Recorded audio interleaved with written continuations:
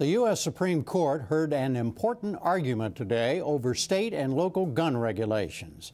At issue was the national application of a 2008 court decision that a gun law in Washington, D.C. violated the right to bear arms. The new case involved a handgun ban in Chicago. Lawyers for both sides spoke outside the court after the hearing. If there is a firearm in the home, the residents in that home are actually six times more likely to have a death or injury from a firearm. That is a very serious public safety threat, a very serious public health threat. Chicago has made that choice. Different communities have made different choices. But this is the choice we've made because it's right for our city. The court is going to decide, hopefully, that people in the United States enjoy all of their Second Amendment rights, not some diluted, uh, some watered down, some shadow version of the right to keep and bear arms, but really the entire right to keep and bear arms. Now, of course, Chicago is still allowed to regulate guns in the interest of public health and safety, but when they do so, they need to make sure that they're aware that there is a fundamental constitutional right at stake.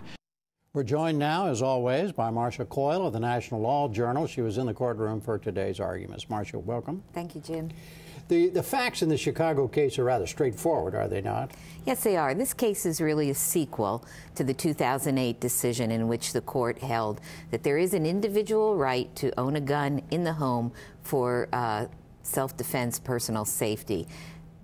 That was a, a, gun regulation in the District of Columbia, which was a federal enclave. And the court left unanswered whether that right that it recognized applied outside of the federal government and federal uh, enclaves. The issue before the court today, even though we're ta- the, the, the case comes to the court involving Chicago and its suburb of Parks gun regulations. The issue before the court is really whether the Second Amendment should be applied to states and local governments. What's the Chicago? What was the Chicago argument for for leaving the Chicago ban alone? Well, Chicago uh, was represented by James Feldman, a very experienced uh, Supreme Court advocate, and he told the court that the Second Amendment right here is not a fundamental right. Uh, and that's what the court looks for when it wants to apply rights that are in the Bill of Rights to the mm -hmm. states. Is it looks to the history and tradition of America to see if the right is deeply embedded, fundamental. He said that states and local governments have been in charge, basically, of firearm regulation for 220 years. So it's it's not uh, a, a fundamental right of the individual. Now the other side argued what? The other side was represented actually by two lawyers, uh, Alan Gura, who we just mm -hmm. saw, and Paul Clement. Paul Clement was arguing on behalf of the National Rifle Association.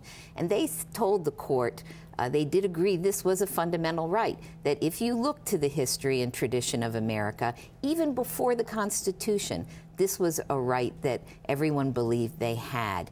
But where the two lawyers differed is how the court should apply the right. Uh, what part of the 14th Amendment, which is what the court generally uses, should be used to make it applicable to the states rather than to, to a, a, back to your point, a fundamental right that applies to everybody in the country because it's, it's part of the original intent of the Constitution. Well, right? what happens here, Jim, is that, and it may seem odd that the Second Amendment would not apply to mm-hmm. everybody, mm -hmm. would not apply to the states, but the framers of the Constitution saw the Bill of Rights originally as protection against actions by the federal government. By the federal government. Right, exactly. Yeah. And it wasn't until the 14th Amendment that the Supreme Court began and incorporating the Bill of Rights towards the states. Now, give us a feel for how the justices uh, reacted to these two arguments okay. today. Uh, First up was Mr. Gura and Mr. Clement, who want the uh, Second Amendment applied to the states.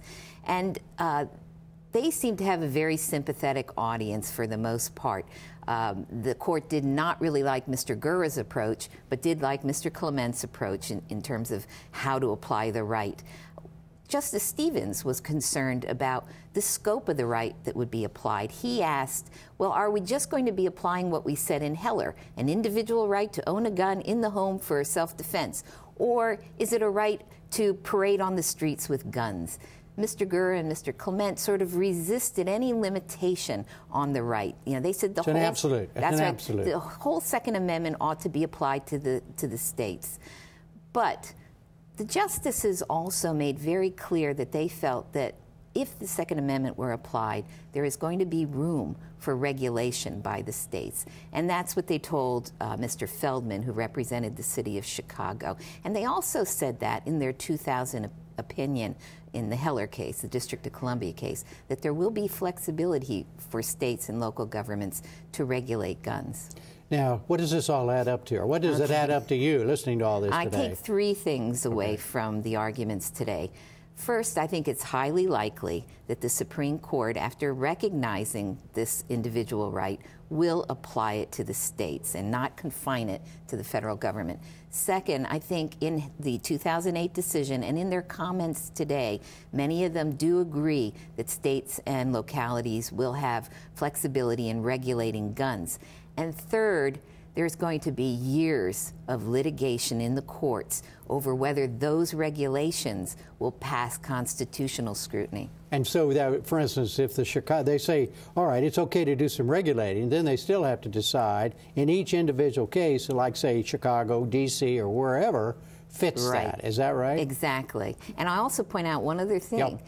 Immediately after the argument, a press release was sent out by a conservative advocacy group saying that gun rights are now going to be the new abortion issue in Supreme Court nominations. Be oh prepared. Just as we saw with Justice Sotomayor's hearings, where gun rights did come up, this press release said that gun right advocates have more people, more money, more influence than even the abortion rights advocates had. And that's been up to at least in recent recent years been kind of a quiet issue, has it not? It hasn't in, been raised at least Supreme politically. Court, right in Supreme Court nominations Even, in particular, yeah. but no longer.